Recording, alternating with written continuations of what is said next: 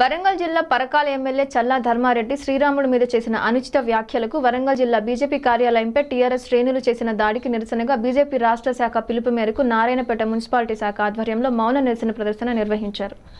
ఈ కార్యక్రమంలో రాష్ట్ర కార్యదర్శి సత్యం మండల అధ్యక్షుడు సాయిబాబా రఘుశంకర్ భగవంతు కార్యకర్తలు పాల్గొన్నారు.